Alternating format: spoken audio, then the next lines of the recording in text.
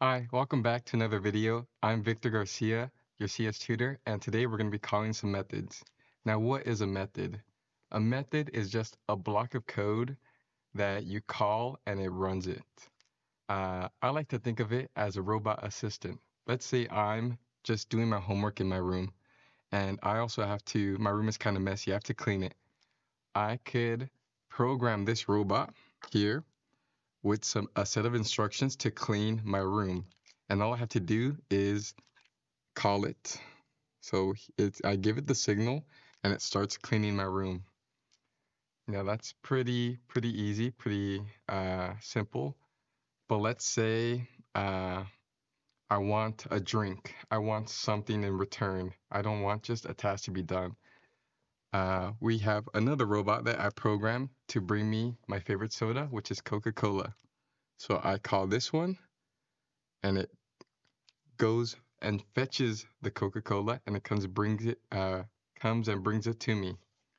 Now, what's the difference between these two robots? Well, one of them is giving me something, and one of them is just doing a task that I told it to do.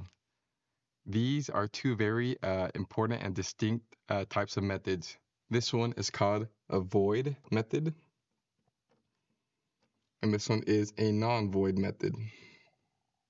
Non-void. What is void? Void is exactly what sounds like. It's nothing. There's no exchange of information. It's just doing uh, the task and it's not bringing me anything. Non-void is the opposite. It's actually bringing me something. It's giving me information. It's giving me data, the stuff that I need. For in this example, just giving me Coke. These are very uh, useful in coding because not all the time uh, you want something to be uh, brought to you. You just want something done. Let's say in your console, you just want something to be printed out multiple times. You do void. But let's say you want something in return. Let's say a, value or a string. Uh, you do non-void. But let's say I want to program this robot to not just fetch me my Coke.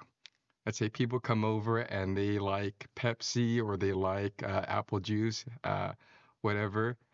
I can make it so this robot would ask the user what kind of soda they want. And let's say he asks my friend, and my friend likes Pepsi. It tells the robot, okay, I want Pepsi. So it's going to look around, it's going to skip over the Coke, and it's going to grab uh, the Pepsi bottle. So it's not going to grab the Coke, it's going to be Pepsi that it brings me. What did I give it? I just gave it a parameter.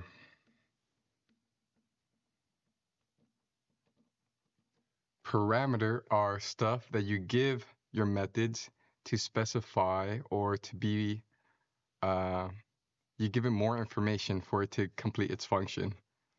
Let's say for my cleaning robot, I have an, a big house and there's multiple rooms and not every room is messy or not every room needs to be clean. So this robot uh, can ask you, uh, once you call it, it can ask you, which room do you want to be cleaned? And I could say, oh, clean my bedroom. With that piece of information, it's going to go to my bedroom and it's going to clean it and not touch any other room that's the important thing about parameters. So you can have a non-void function with parameters, a void function parameters, and uh, the only difference is the type of stuff they return and the type of stuff they do. Uh, so here we have my code in the main, and uh, we're not using any of our robots uh, because we're just doing this manually. As you can see, we're cleaning our bedroom, kitchen, our bathroom, and as a coder looking at this, it's uh, repeated code over and over uh, three times. Let's run it and see what we get. As you can see, we cleaned our bedroom, our kitchen, and our bathroom. And very simple stuff. It printed out exactly how you wanted to. Now let's see how we can simplify this and make our code reusable instead of wasteful. Let's go back to our code. Okay, here we are, our empty main, and we are going to try to reproduce the same code or the same output with less code. We're going to do that by using our little robot over here that cleans rooms, and we're going to have it use a parameter, and that parameter is going to be a string, and it's going to depend on the room that we give it. So let's say we give it a string called bedroom, it's going to go clean our bedroom. If we give it a string called kitchen, it's going to clean our kitchen. And we're going to use void because we don't want it to return anything to us. We just want it to do a task and it's done. So let's see. We're doing system.out.println.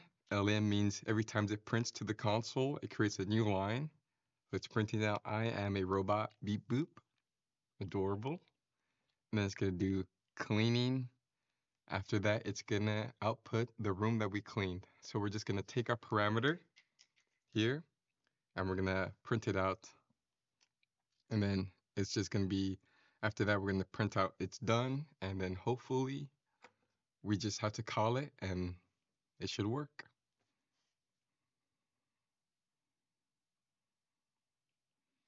So here we are calling our method. The way you call a method is you just put the name of the method and then you put your parameters in the little parentheses.